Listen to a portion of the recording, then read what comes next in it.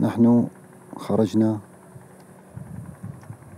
في البداية في هذه الثورة من أجل الظلم. ونحن أخذنا طريق أن نخرج للدفاع عن ديننا وعن أرضنا وعن أعراضنا ولكن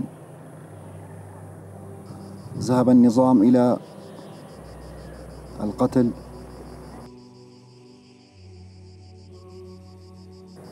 لا يرحم من يمشي لا كبير ولا صغير ولا أطفال. كان يعتقل أطفال في عمر الخمسة عشر عاما وفي اثنا عشر عاما يعتقل الأطفال ويعتقل النساء.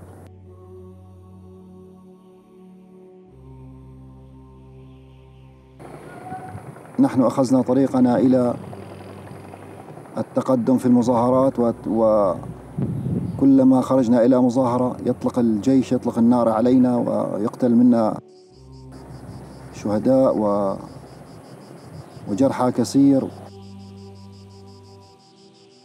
أصبح الشهداء كثير.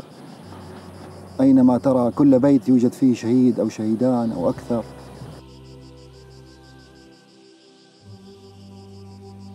كان والدي كان والدي يخطب على المنبر خمسا وثلاثين عاما. لا يستطيع أن يقرأ حديث صحيح يرويه في اسم مثلا يروي عن أبي هريرة يروي عن أو يتكلم عن ابن تيمية أو يتكلم عن الصحابة. لا يقدر لا يستطيع. فهم يكتبون له الورقة ويلقيها. و وكل صلاة جمعة يكون موظفا من الأمن. من أمن السياسي أو من أمن العسكري يكون موجود في الجامع وأي كلمة يلفظها الشيخ أو العالم يتكلم بها عن الجهاد أو عن يكون في اليوم الثاني يكون في السجن ويعذب وشهر شهرين يقتل و يقتلوه ويحرقوه و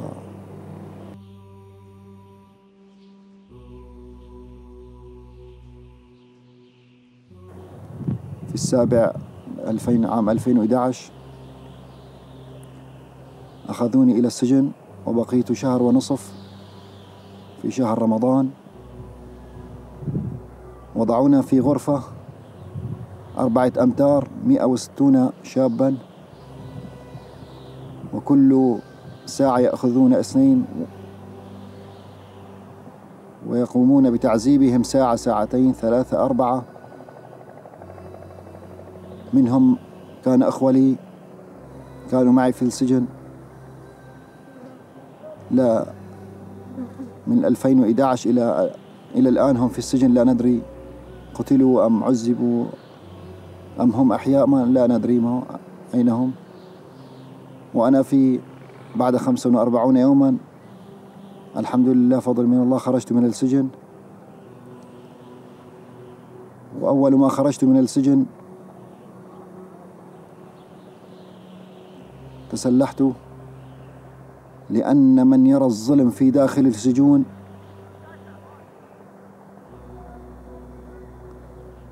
يقول يقولون أخوانا لي عندما خرجت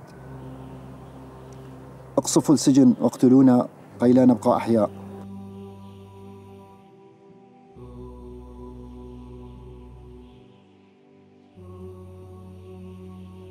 أنا رأيت رأيتهم يأخذون عشر شباب ويضعونهم على التعذيب منهم من قطع يده ومنهم من قطعت رجله ومنهم من طار طار رأسه. وأنت تنقطع يدك ويرمونك في السجن الدماء تسيل في الأرض. ومنهم من ضربوه على عينه وطارت عينه ورموه تأكل الدودة عينه عينه وتأكل رجله ومنهم من توفي في السجن من كثرة الحرارة. الحرارة خمس أو ستون ويشغل يشغل المكيفات الحارة في الصيف. ونحن لا يوجد نافذة للهواء ولا يوجد شيء للهواء. ومئة وستون أخ موجودون في غرفة خمسة أمتار أربعة أمتار. لا ننام ولا نقعد ولا لا لأنه لا يوجد مكان يتسع إلا للوقوف. ويشغلون مكيفات الحارة. فمن كثر ارتفاع درجات الحرارة في السجن في أخ لي توفي أمامي في السجن. ومنهم من سبحان الله يغمى عليه. ننادي لهم يوجد لدينا أخ فيخرجوه يضربوه يضربوه ويرموه ويرموه لنا. ولكن بعد فترة لم لم نتجرأ أن نقول لهم أن عند عندنا أخ مصاب أو مريض أو خرجنا. أنا خرجت من السجن. وتسلحت وبعد فترة جئت إلى القرية ونظمت إخواني وأخوان إخواني المجاهدين صغيرين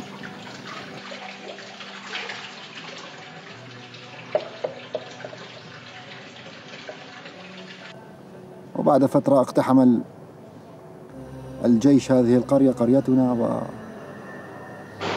أول ما دخلوا إلى القرية تكلم معهم الضابط.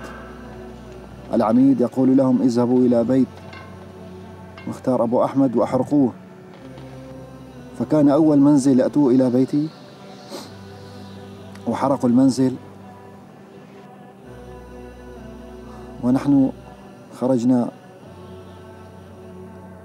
قاومنا النظام هنا أربعة أيام واستشهد لنا خمسة أخوة في القرية. وقتل وقتلت لهم بفضل الله تعالى. 120 جنديا في هذه القرية قبل أن يدخلوها. تكلم ضابط إلى آخر وقال له إنه قتل في قرية كفر زيبة 120 عسكريا فدمروا القرية وادخلوها. قالوا أنا أسمعهم. قال لهم لن نستطيع دخولها لأن يوجد فيها أناس يقاومون ولم يخرجوا منها. فقال لهم دمروا القرية وادخلوها. نريد أن ندمر قرية. فدمروا القرية. ثلاثة أيام يقصف القرية. ونحن صار أصبح لدينا شهداء كثير لم نستطيع إخراجهم. فأخذهم النظام وحرقهم ومثل في جثثهم وصلب عند بيتي أخ لي. صلبه في العمود على خشبة الكهرباء وحرقه في النار. وأنا خرجت إلى الجبل. ورابط على هذه القرية سنتين.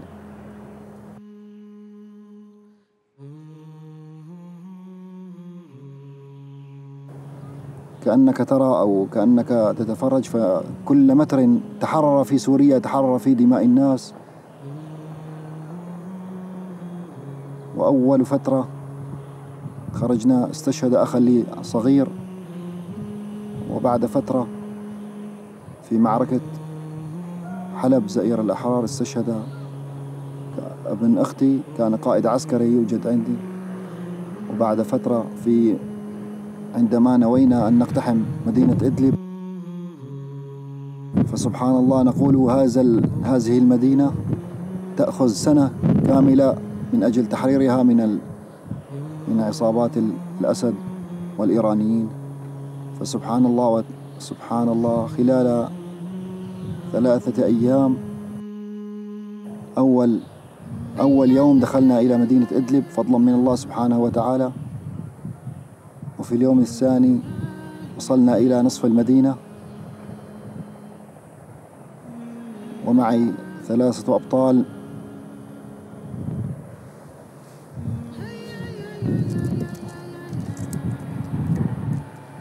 هم أقاربي. استشهدوا ثلاثة. وأنا ربيتهم أربع خمس سنين معي في الكتيبة.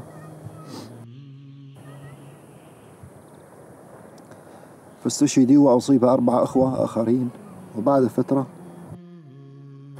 تقدمنا ولم نقف ولا ساعة. دفنا الإخوة وذهبنا إلى وذهبنا نكمل طريقنا في تحرير البلد. والحمد لله فضلا من الله سبحانه وتعالى خلال أسبوع تحررت مدينة إدلب وانتقلنا إلى المسطومة وفي المسطومة أصيب أخوة لنا.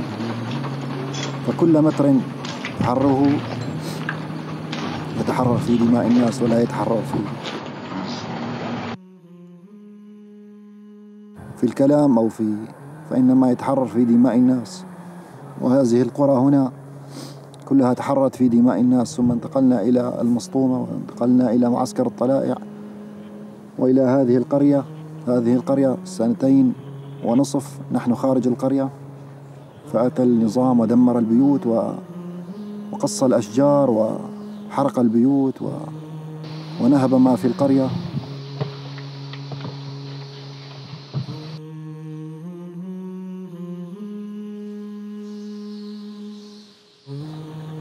وبعدها فضل من الله سبحانه وتعالى اقتحمنا القرية وأخرجناهم منها. ولكن عندما أتينا القرية لم نرى شيئا. دمروا البيوت وسرقوا الأبواب وقصوا الشجر. هذه الأراضي كلها لنا كانت مزرعة. لأنها أرض لي فقصوا الأشجار جميعا. لم لم أتيت إلى القرية لم أجد ولا شجرة. زيتون عمره ثلاثمائة سنة.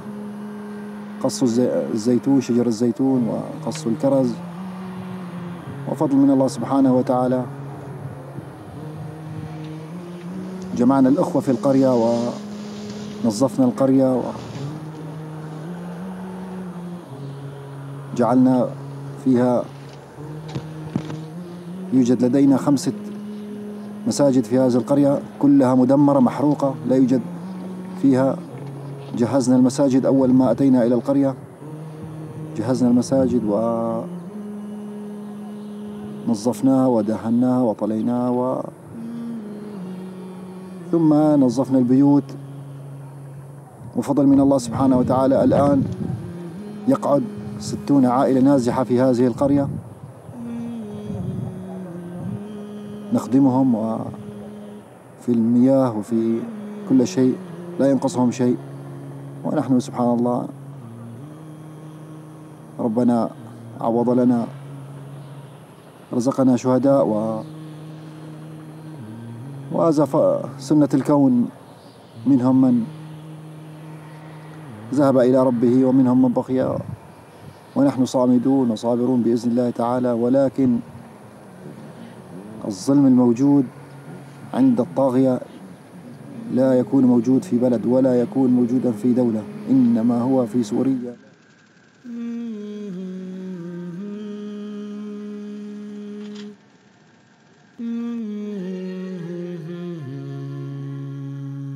لن نتوقف ولكن سنستمر بالدفاع عن ديننا وعن أرضنا لو لم يبق منا ولا أحد.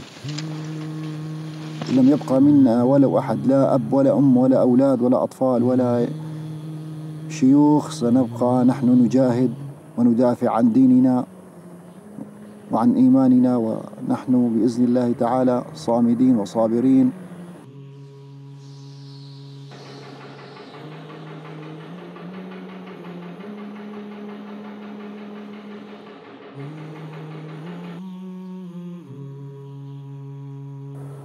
يأسر ويحرق ويقتل النساء والأطفال. طفل عمره خمسة سنين يذبحونه أمام أمه وأبيه ويغتصبون النساء أمام أزواجهم. فلم تكن أنت تريد لو لو فقدت كل إخوانك وكل أهلك. لا تستطيع الخروج من سوريا لأنها بلد غالية. والرسول صلى الله عليه وسلم أوصانا في الشام. ونحن لا نريد أن لا نريد أن أحد يخرج من هذا البلد. لأن الرسول صلى الله عليه وسلم أوصى في الشام هنا. ولكن يوجد أخوة خرجوا منها. ويكلمونني ويقولوا نحن نادمون على السفر إلى ألمانيا وإلى أوروبا. يقولون نريد, نريد الخروج ولكن لا يستطيعون لأن أرض الشام غالية. والذي قدم شهداء كثير لا يريد أن يخرج لو لو قتل أو حرق أو لم يبقى له أهل أو لم يبقى له أحد فلن نخرج ونبقى هنا بإذن الله تعالى إلى أن ربنا يرزقنا الشهادة أم ننتصر بإذن الله تعالى.